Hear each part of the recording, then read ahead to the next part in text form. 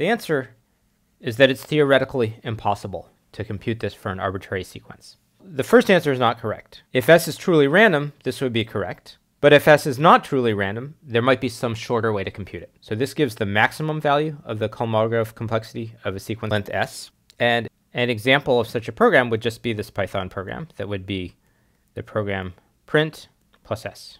That would print out the sequence S. Its length would be the length of S plus the five characters for the print plus one for the space. But that doesn't prove that there isn't a shorter program that can produce S. The trick in the second answer is this part. This assumes that we can execute P to completion.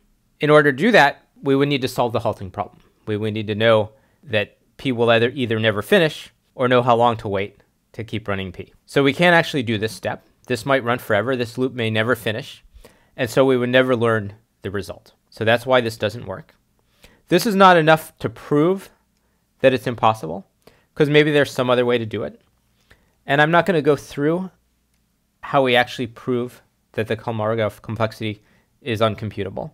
But I'm going to show you a paradox that will give you a little bit of an idea why that is. And the paradox is known as the Berry paradox.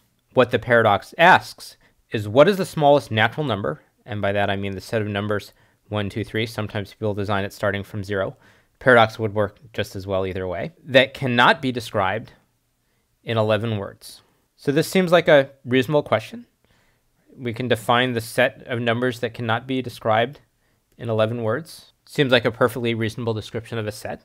It's also a case that any set of natural numbers has a smallest element. The numbers are well ordered, so whatever that set is, there must be some smallest number. So that means there should be an answer to this question, that there is a smallest number that cannot be described in 11 words. And I'm going to describe it for you. Here's my description, and my description has one, two, three, ten, 11 words. So I just described the smallest natural number that cannot be described in 11 words, but I've described it in 11 words. So that suggests that no such number exists, but that contradicts the properties we had before. And that's why this is a paradox. This is certainly not a proof that the Kolmogorov complexity is undecidable, but it should give you some sense of how we might prove that.